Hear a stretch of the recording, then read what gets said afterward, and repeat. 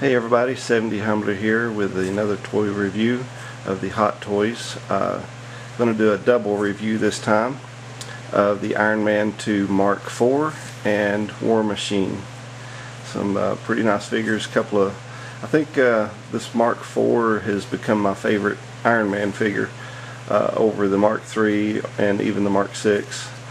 Um, and the War Machine, I really like it because of its size and uh, just the, um, the overall just the mechanical look of the figure. Anyway, I just wanted to uh, do a short review of these figures uh, and their accessories uh, and take a quick look at the boxes. Um, if you'll notice in the background, it's uh, I've got a new uh, diorama uh, that I've been working on. It's my first attempt to build a wall and uh, which I use in I'm attempting to use in stop motion. So uh, just uh, leave me a comment let me know what you think about that and uh, let's get on with the review.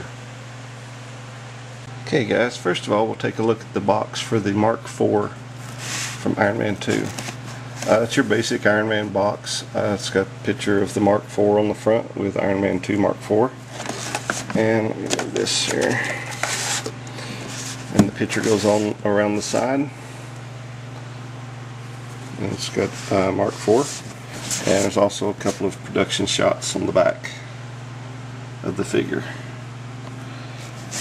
And on the other side the picture the, the front picture wraps around the uh, both sides which is kind of neat. Okay it's just your basic slip cover. And right there's where the figure goes right inside there. Okay?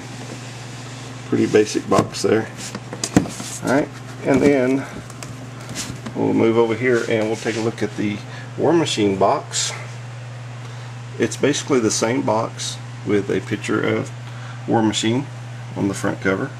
Okay this is Iron Man 2 War Machine and his picture also wraps around each side of the box and there are production pictures on the back. Okay and one of the cool things that I liked about these boxes and let me try to get this here is if you take the boxes and put them together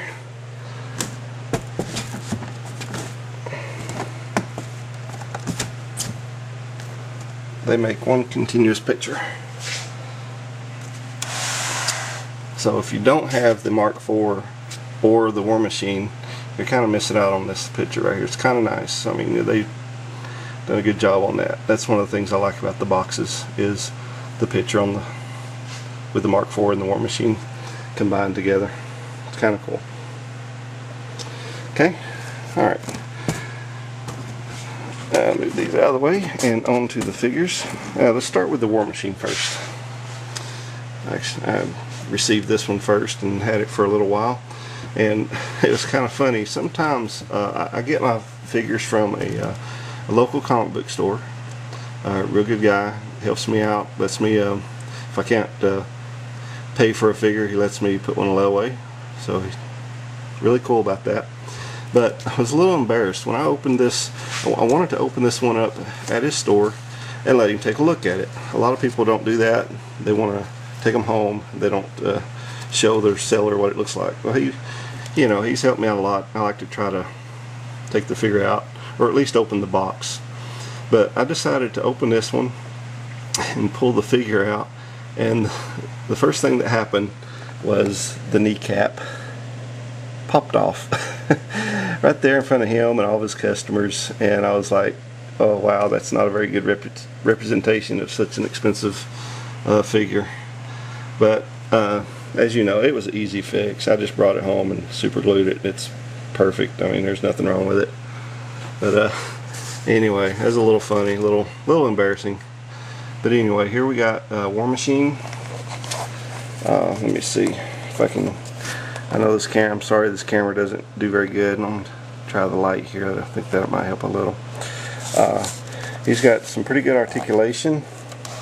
Uh, he's got articulation in his toes and his ankles. Uh, his knees are double jointed and in, in his thighs he's only hindered by the armor on the articulation in his thighs okay he has uh, um, Let me set this down for a second. Sorry about that. Oh, yeah. Sorry if I'm making you sick. Anyway, okay, he's got uh, upper torso rotation, and he's also can bend back and forward a little bit. Uh, he's got this little movement right here. Okay. On to the arms, he's got uh, upper shoulder rotation, only hindered by the armor just a little. Uh, elbow rotation, and I've uh, got he's got several sets of hands. I've got the articulated finger hands on there, so each finger, each joint on each finger is articulated. Very nice touch on that. And his head, it does move a little. It's kind of hard to do this with one hand, but uh, it's very stiff. But he does have uh, rotation up and down on the head. Okay. And we get back here, one of my favorite parts is this uh, uh, minigun on the back, mounted on his back right here. And uh, I love this thing. You got to be extremely careful with it, though. Okay, uh, but it does move very well. It does not. This part does not move up and down. Some people make the mistake and try to move that up and down. It does not move up and down. Okay. Uh, it looks like it does, but uh, a lot of people have broken theirs trying to move that. But it does move side to side and it does slide across the his back right here on this. It slides across rotates uh, the gun itself rotates and uh, it's, it's just it looks really nice very detailed.